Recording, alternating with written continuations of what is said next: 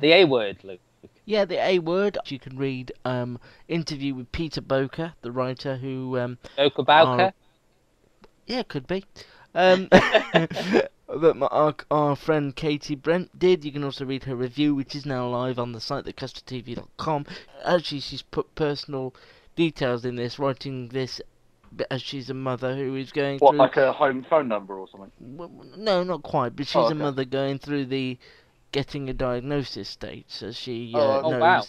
a bit more about the uh, process than perhaps Very anyone personal else. to it then. Yeah, it's Yeah, very personal to her, and she could see parallels. I Yeah. think she would she would say that they rushed through the actual diagnosis bit quite quickly, but apart from that, the rest of it Mm. There was, quite, a lot of fluff, wasn't there, in this? There was a lot There of just was. It's it's a shame. Uh, basically, do you want me to do the setup again? Yeah, you do the setup. Yeah, This was about a you set set 'em up. I'll knock 'em down.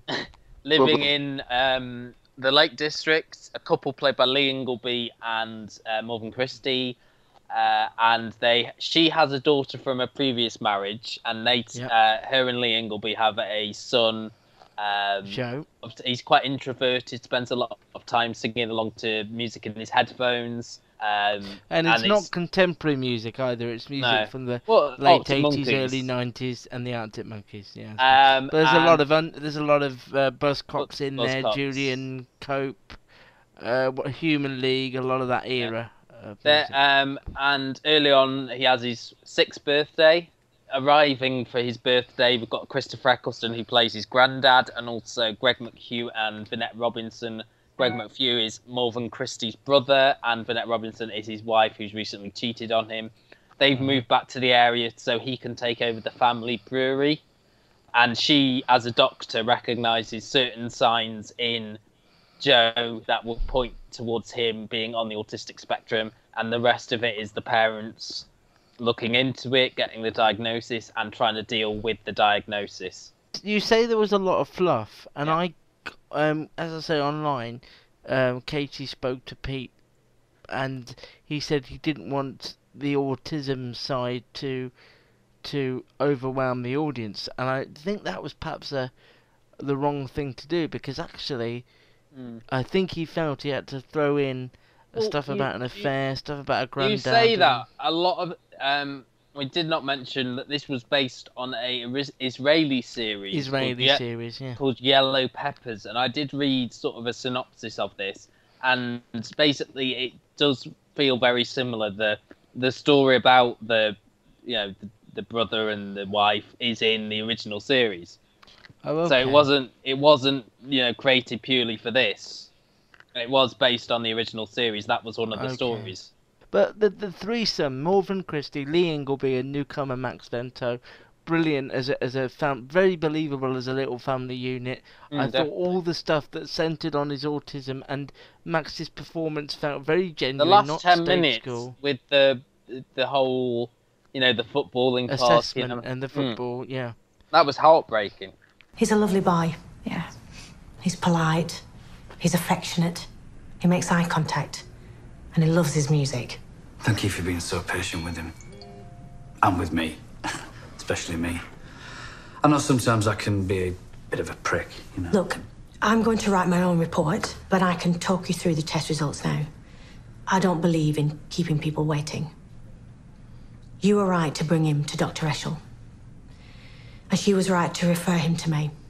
He does have significant problems. What kind of problems? Communication, auditory processing, emotional responses, self soothing behaviors. Um, if you look at the tests, in many areas, he is way above average. Sorry, I know you're the expert. But is that really so different from any other kid? No, because he's five years old. But he will be. Did Dr. Eschel mention the autism spectrum at all? No, why would she? I don't know very much about autism, but uh, from what I do know, there's no way he's got. He has problems processing emotions. He has problems with his auditory processing. Yeah, you keep saying that. I don't know what it means. I'm sorry.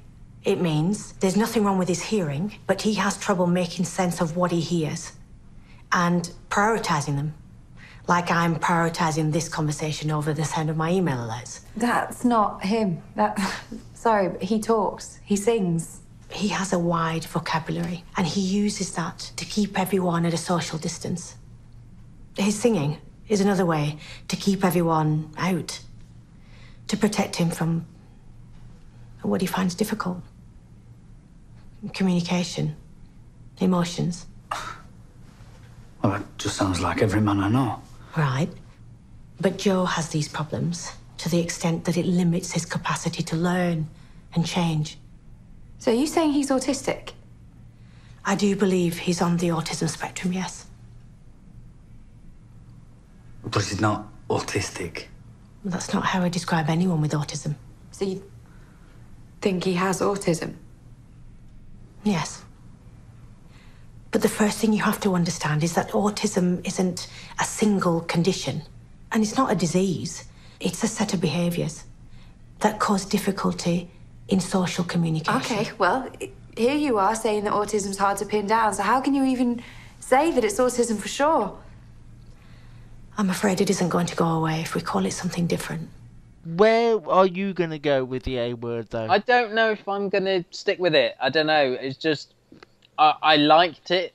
If it went for all the sort of the sex stuff, like the the subplot with obviously Greg McHugh and Vinette Robinson, there was a whole sort of thing with them in bed together, and then there was a subplot where Christopher Eccleston and, and Pooky Quesnel, he was doing singing lessons with her, and she basically said, "Do you want to be friends with benefits?" And it's just it's bits like that, and Lee Ingleby was always trying to get his leg over, and it felt all that all felt a bit tacked on to me. Like, oh, it's after nine o'clock, we have to do something a bit we, risque. we, we can do this, and people will want us to do Hmm. this, so we will. I agree.